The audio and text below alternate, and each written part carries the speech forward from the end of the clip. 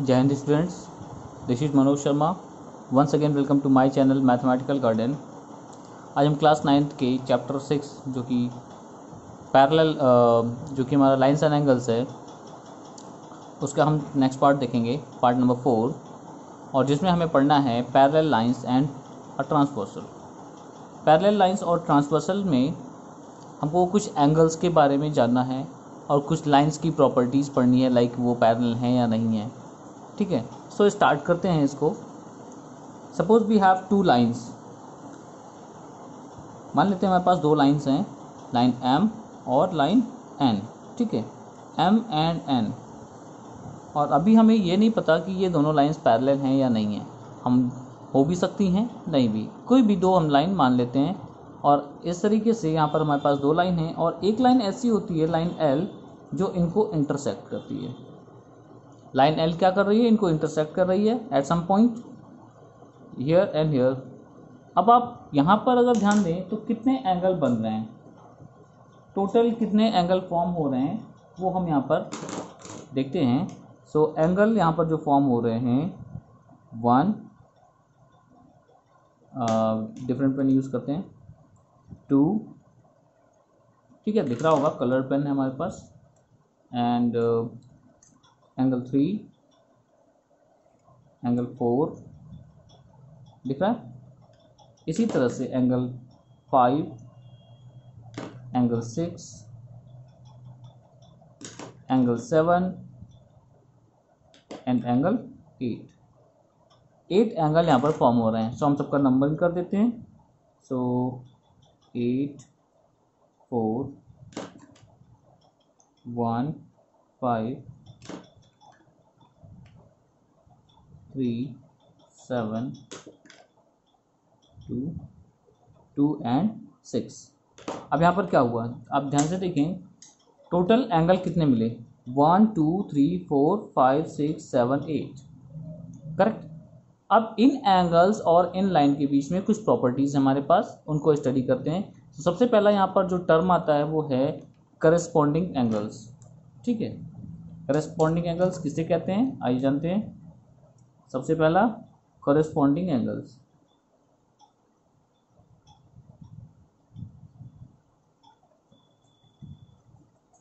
Corresponding angle किन्हें कहते हैं? सो ध्यान से सुनिए क्या कह रहा हूँ। Transversal this is the transversal line L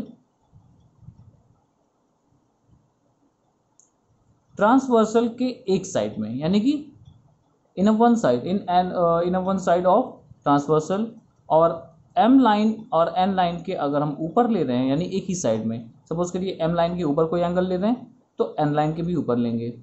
ठीक है? जैसे यहाँ पर ऑरेंज कलर का मैंने मार्क किया है। देख रहे हैं? यहाँ पर हमने आ, लाइट लाइट ग्रीन कलर का मार्क किया है। देख रहे हैं? तो ऑरेंज कलर कैसा है? ट्रांसवर्सल के राइट हैंड साइड में यहाँ भी फाइव वाला कैसा है? ट्रांसवर्सल के राइट हैंड साइड में और ये वाला हमारा एंगल वन एम लाइन के ऊपर है। तो यहाँ एन लाइन के ये भी ऊपर है। ऐसी कंडीशन पे जो भी हमारे एंगल्स होते हैं, वो करस्पॉन्डिंग एंगल कहलाते हैं। आप देखें वन और फाइव आपस में करस्पॉन्डिंग है। ट्रांसवर्सल के लेफ़्ट साइड में आप देखें, एक ऊपर ऊपर टू एंड सिक्स वो दोनों एंगल करस्पॉन्डिंग हैं। सिमिलरली थ्री डाउनवर्ड है। ट्रांसवर्सल के लेफ़्ट में है। ट्रांसवर्सल के लेफ़्ट में सेवन भी है और डाउनवर्ड है इस लाइन से। So three and seven is also a corresponding angles ठीक है ना? पेयर ऑफ़ करस्पॉन्डिंग एंगल्स यहाँ पर एट और फोर आप देख रहे हैं। सो करस्पॉन्डिंग एंगल कौन कौन से हुए? आपस में one and five corresponding angles हैं एक दूसरे के। Two and six also corresponding angles है ना? थ्री एंड सेवन एक दूसरे के corresponding angles similarly angle four and angle eight आपस में एक दूसरे के करस्पॉन्डिंग एंगल्स हैं। ठीक है आई होप कि आपको करस्पॉन्डिंग एंगल समझ में आया होगा। Next term is interior alternate एक सेकेंड अल्टरनेट इंटीरियर ऐसे लिखते हैं हम लोग। अल्टरनेट ठीक है अल्टरनेट देन इंटीरियर लिखते हैं। इंटीरियर एंगल्स आइए अब जानते हैं कि अल्टरनेट इंटीरियर एंगल्स किसे कहते हैं? क्या प्रॉपर्टी है? अल्टरनेट मीन्स अपोजिट है ना? उल्टा, अगर हम कहें तो इसके बजाय उसके राइट के बजाय अल्टरनेट क्या हो जाएगा? लेफ़्ट तो यहाँ पर अल्टरनेट यानी कि हम कह सकते हैं कि अपोजिट साइड में। और इंटीरियर मीन्स इनसाइड इनसाइड किसके? इन दोनों लाइन एम और एन के अंदर में। अब एम और एन लाइन के अंदर में कौन कौन से एंगल हैं? Angle four three six and five दोनों लाइन के अंदर साइड में कौन कौन से एंगल हैं? Four three six and five और क्या कह रहे हैं? अल्टरनेट तो अगर मैं इस ट्रांसवर्सल के लेफ़्ट का एक एंगल ले रहा हूँ लाइक थ्री सो ट्रांसवर्सल के राइट का एंगल लेंगे एन लाइन पर, जो कि फाइव है। तो यहाँ पर थ्री और फाइव ये एक दूसरे के क्या हैं?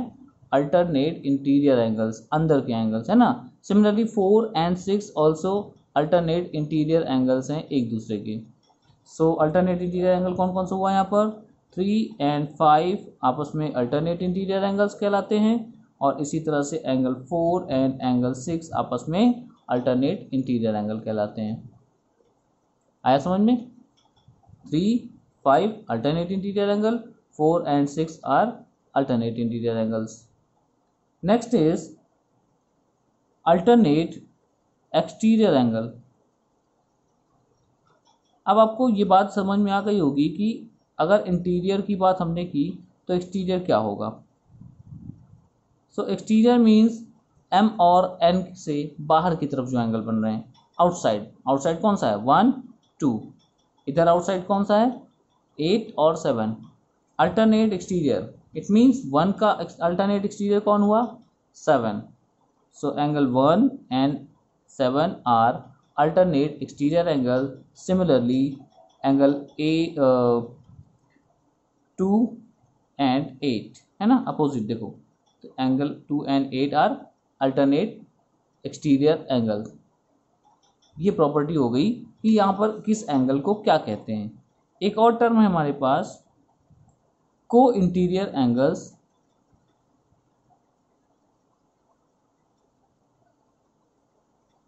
या फिर हम इनको कहते हैं interior angle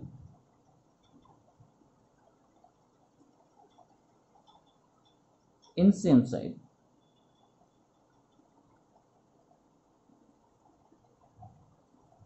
ठीक है? को इंटीरियर एंगल या फिर interior angle in same side अंदर के एंगल और ट्रांसवर्सल के सेम साइड में तो कैसे हुए? अंदर के एंगल हमारे पास कौन कौन से हैं? Four three six five transversal ये एल लाइन है तो इसके सेम साइड में कौन कौन से एंगल हुए अंदर में? फोर एंड फाइव तो फोर एंड फाइव आर को interior angles right angle of interior angle in same side three and six angle three and six are also interior को इंटीरियर एंगल्स सो ये कुछ नाम थे जिनको हमें जानना था।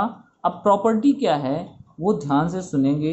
इसी बेसिस पे हम अभी थ्योरम्स भी डिस्कस करेंगे। ठीक है ना?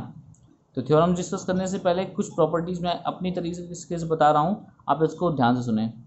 तो करस्पॉन्डिंग क्या होते हैं? अल्टरनेट इंटीरियर एंगल्स क्या होते हैं? अल्टरनेट एक्सटीरियर क्या होते हैं? और साथ ही साथ को इंटीरियर एंगल्स क्या होते हैं? अभी आपने समझा।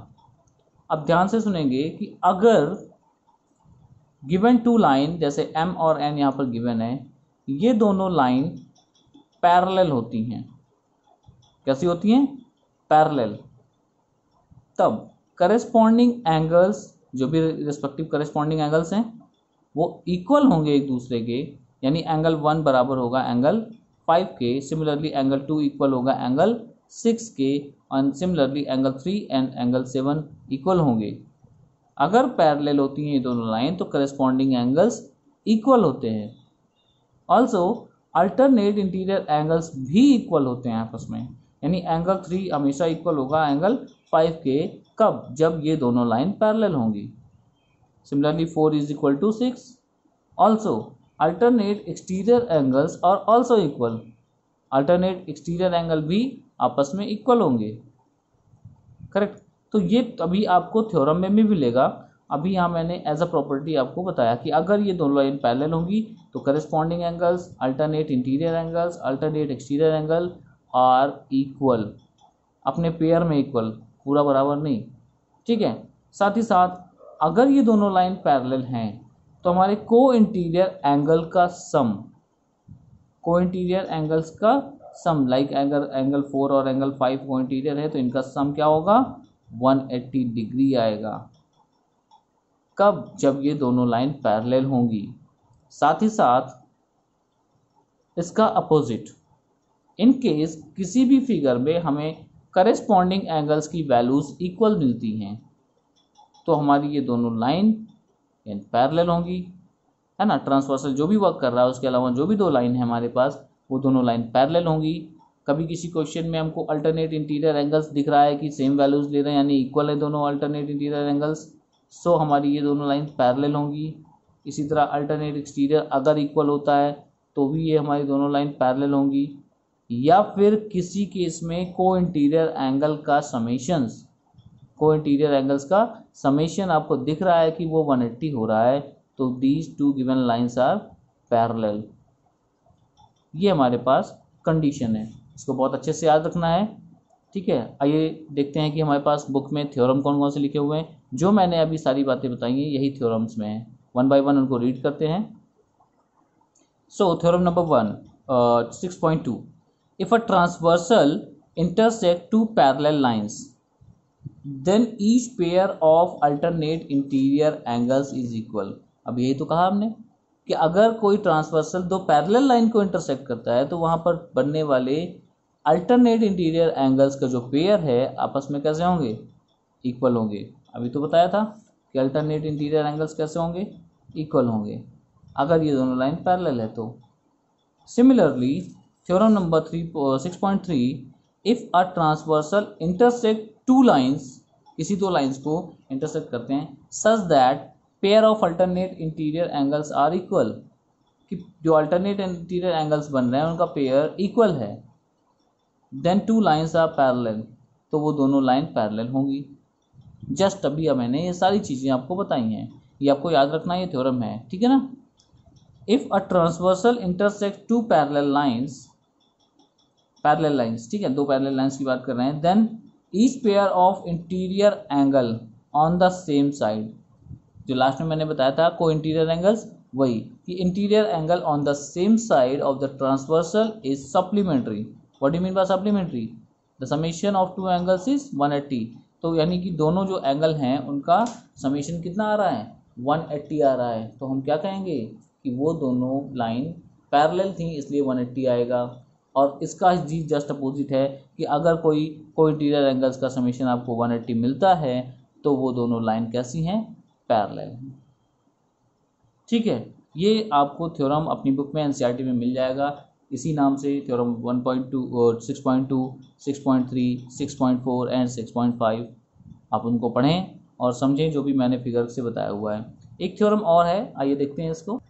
Theorem 6.6 lines which are parallel to the same line are parallel to each other कि दो लाइन हैं डिफरेंट डिफरेंट और वो किसी एक सिंगल लाइन के पैरेलल हैं। तो क्या होगा, जो गिवन टू लाइंस थी, वो भी एक दूसरे के पैरेलल होंगी। तो वो कैसे हम समझेंगे? आइए, दो लाइन मैंने लिया। ये पैरेलल हैं कि नहीं, मुझे नहीं पता। M line and N line ठीक है? और एक लाइन मैंने इसमें ड्रॉ करी सच दैट क्या हुआ कि एल किस तरह से मैंने ड्रॉ करी कि एल जो है एम लाइन वो पैरेलल है एल के। और एन लाइन भी यहाँ पर पैरेलल है एल के। ठीक है? अब ये दोनों आपस में भी पैरेलल होंगी। अभी हमें ये नहीं पता था कि एम और एन पैरेलल हैं। पर अभी हम कंडीशन क्या कह रहे हैं कि एम पैरेलल है एल के और एन भी पैरेलल है एल के। ठीक है? तो यहाँ पर एम और एन पैरेलल होंगे। कैसे पता करेंगे? आइए देखते हैं। समथिंग वाई मान लेते हैं। ठीक है? सो so, अब ये दोनों लाइन पैरेलल हैं। तो इनका करेस्पॉन्डिंग एंगल इक्वल होगा। ये वन एंगल टू एंगल के बराबर होगा। तो मैंने लिखा कि since M is parallel to L therefore angle one is equal to angle two reason corresponding है। अभी आपने पढ़ा है। ठीक है करस्पॉन्डिंग एंगल है। इसलिए इक्वल है। ठीक है, पहला बना लेते हैं इसको स्टेटमेंट नाउ नीचे की बात करते हैं। Since N is parallel to L so इनका भी जो करस्पॉन्डिंग बन रहा है, वो भी इक्वल होंगे, क्योंकि ये दोनों पैरेलल हैं थ्योरम पढ़ा हमने therefore angle three is equal to angle two second बना लेते हैं by the same reason corresponding angles हैं। अब हम कंपेयर करें तो आर एच एस दोनों का सेम है तो एल एच एस कैसा होगा? Equal it means angle three is equal to angle one होगा कि नहीं होगा? अब ये दोनों अगर इक्वल हो रहे हैं, इसका मतलब क्या हुआ? हमारी प्रॉपर्टी थी कि अगर किसी भी दो लाइन को एक ट्रांसवर्सल इंटरसेक्ट कर रहा है और उसके करस्पॉन्डिंग एंगल्स इक्वल हो रहे हैं तो it means these two lines are parallel it means this implies M is parallel to N ये हमारा थ्योरम है और ये यहाँ पर इसका प्रूफ ठीक है? घर पर इसको रिवाइज करिए, पढ़िए और जो भी प्रॉब्लम हो कांटेक्ट करिए. थैंक यू फॉर वॉचिंग जय हिंद